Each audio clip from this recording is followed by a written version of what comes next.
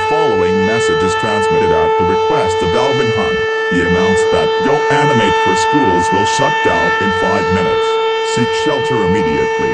If shelter unavailable,